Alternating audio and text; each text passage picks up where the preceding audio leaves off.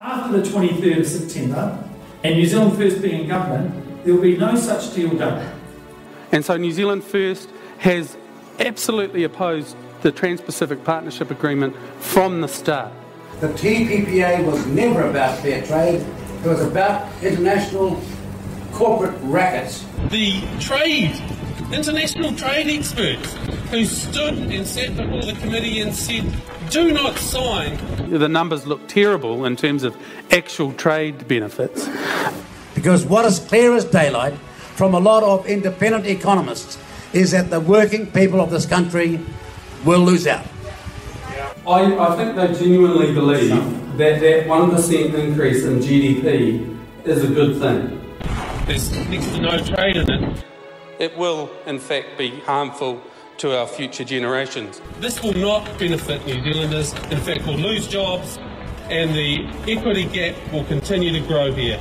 We can't sign a document that has ISDS in it. Designed to take away your sovereignty, it is something that we would do at our absolute peril.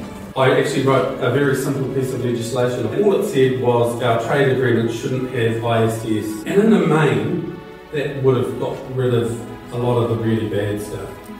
But it's still a really dumb, really bad trade agreement.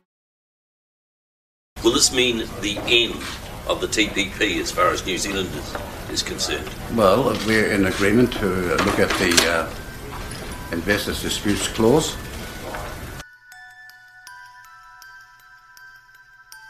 This is a new deal.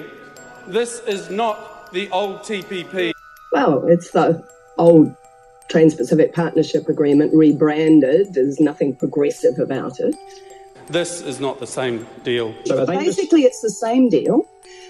So I am proud to be standing here. And there is virtually nothing that I can find that is a significant concession.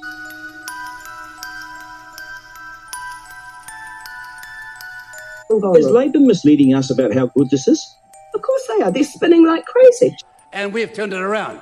There have been 22 changes.